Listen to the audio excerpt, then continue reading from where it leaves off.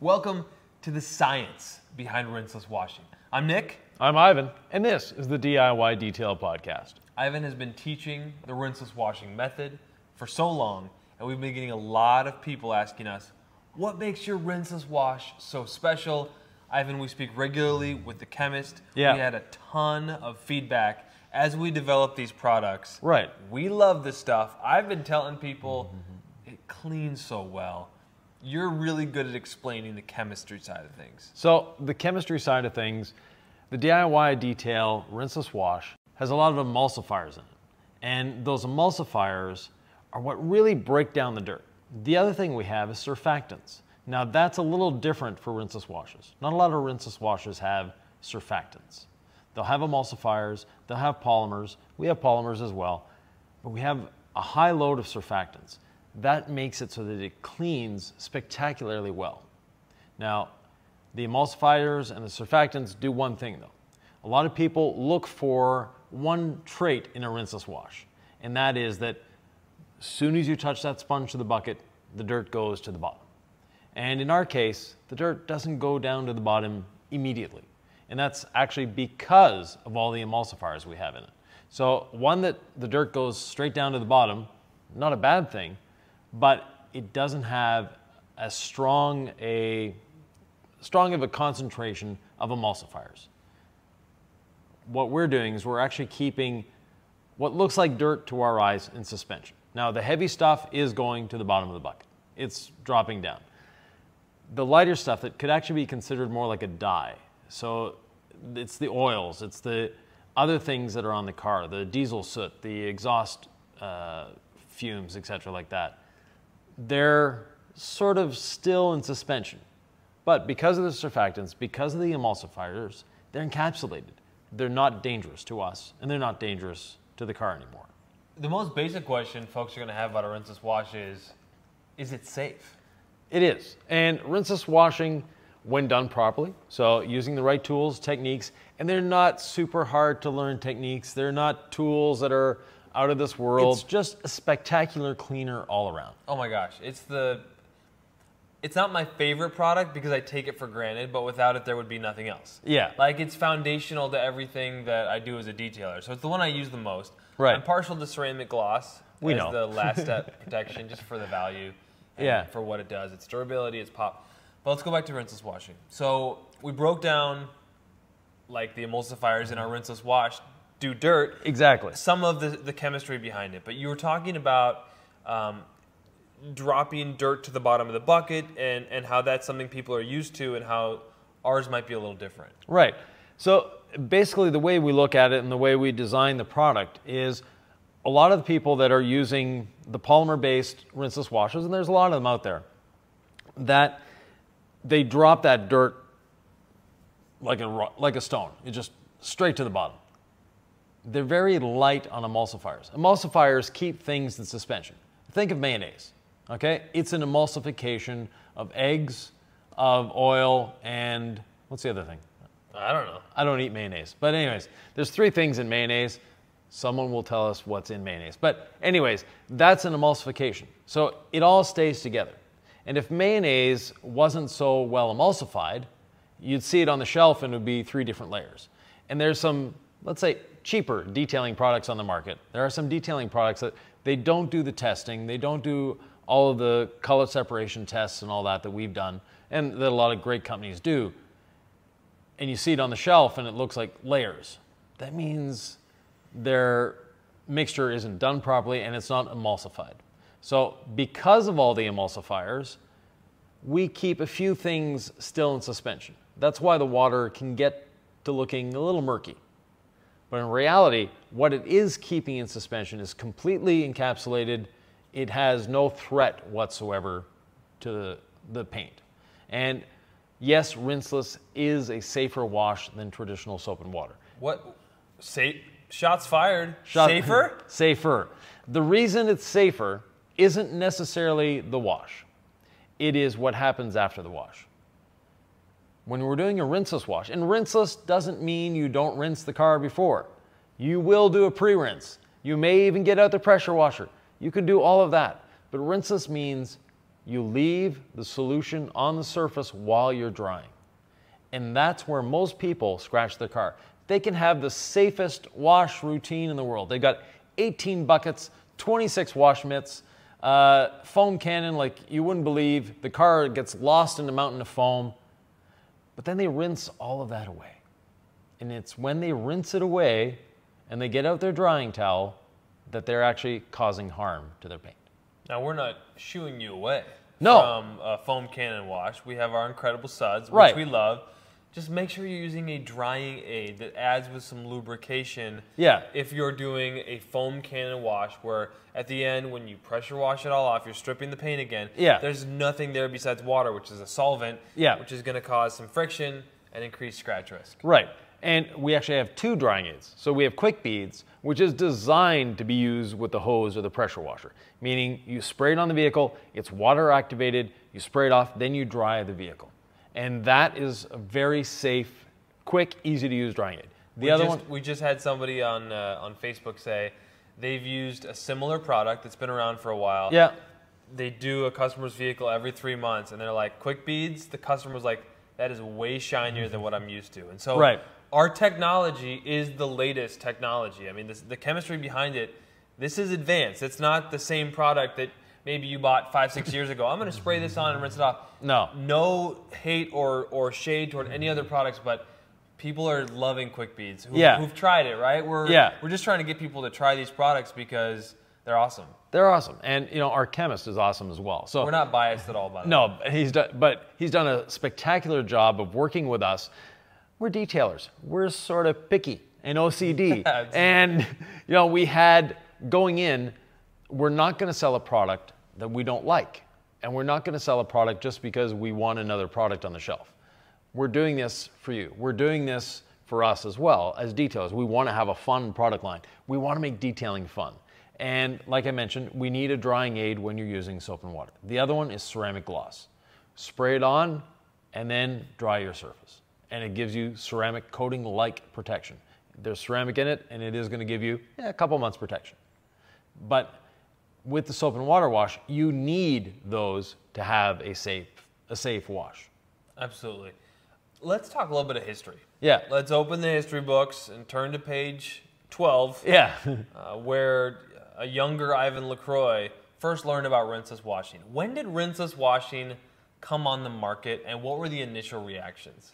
So one of the first rinseless washes I tried was a product called Quick and Easy Wash, and it was in the early '80s. So it's it was you know early mid '80s, somewhere in there.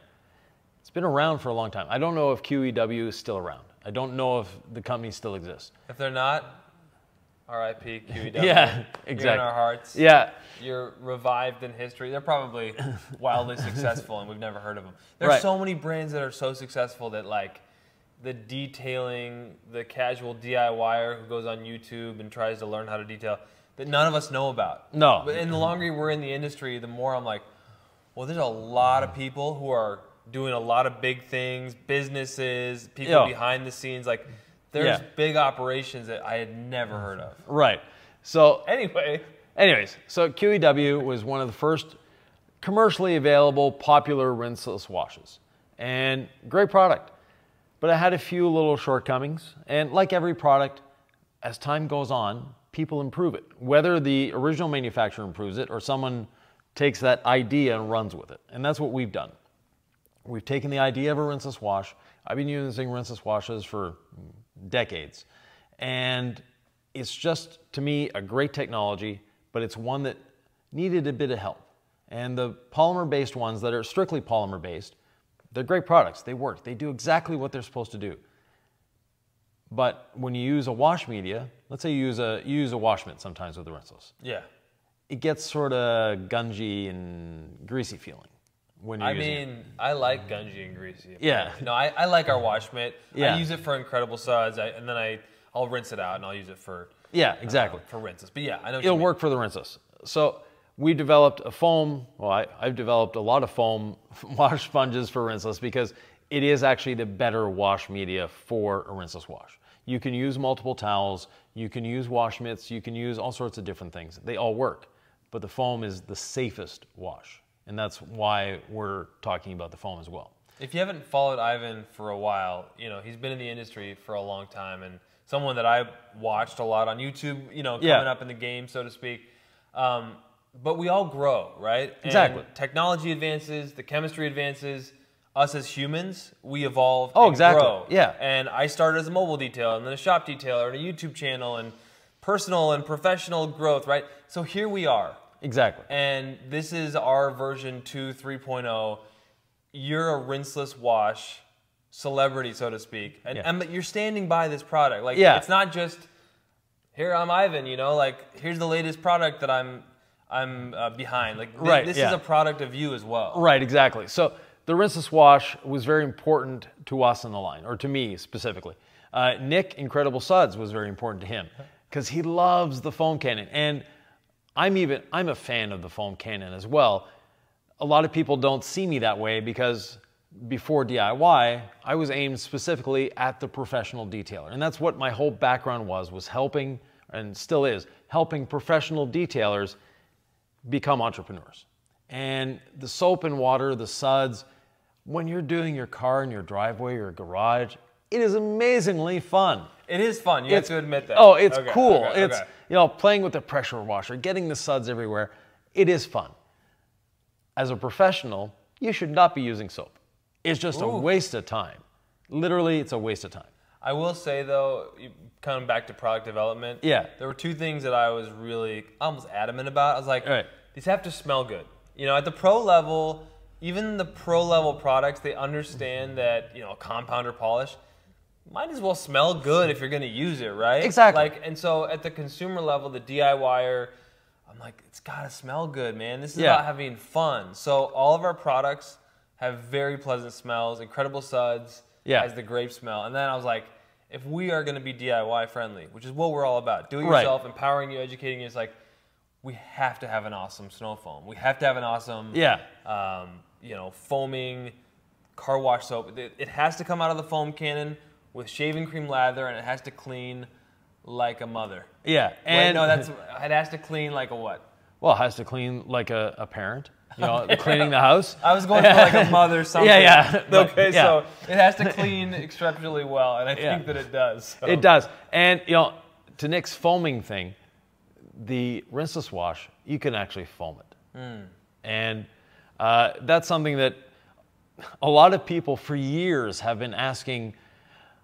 I like the idea of a rinseless wash, but I like the foam cannon and I want to foam. So having the the high load of surfactants, the high load of um, emulsifiers in there, we can actually make our rinseless wash foam.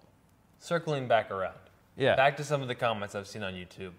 What separates your rinseless wash? Is it anything special?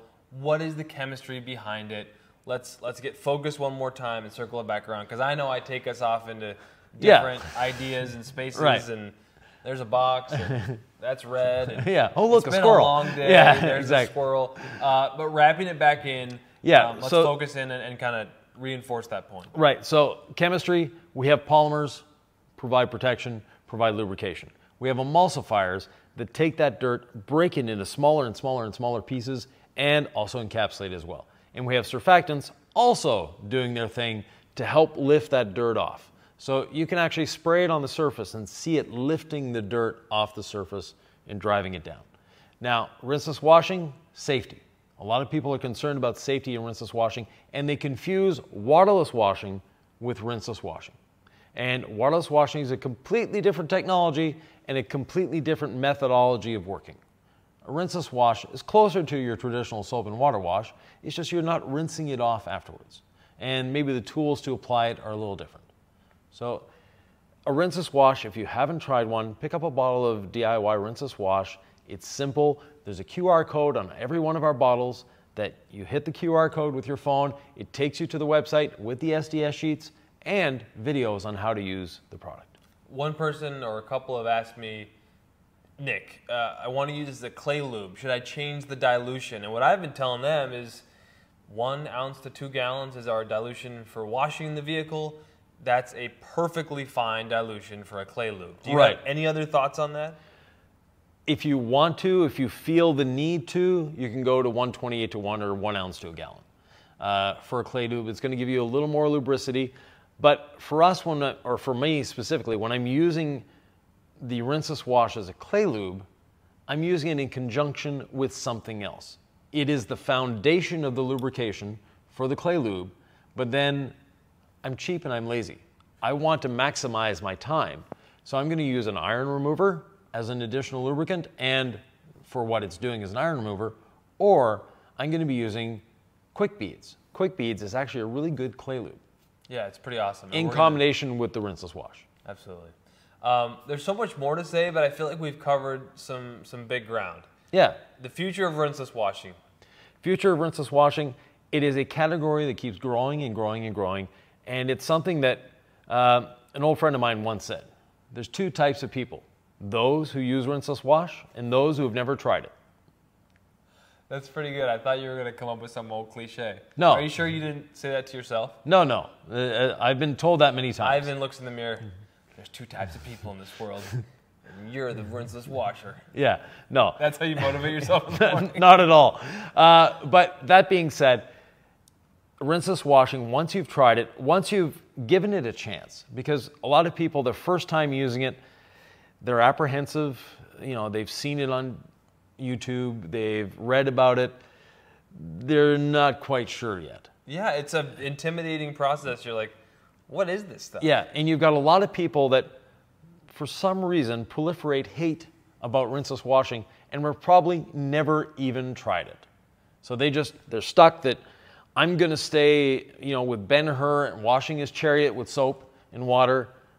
I'm not progressing past that. We've progressed past that in so many ways, and rinseless washing is one of those ways. Absolutely. This is the DIY Detail Podcast. There's a list of DIY Detail Podcast at the top of your screen. Ivan, always great to talk rinseless washing with you. Yeah, and we actually have a playlist on rinseless washing as well.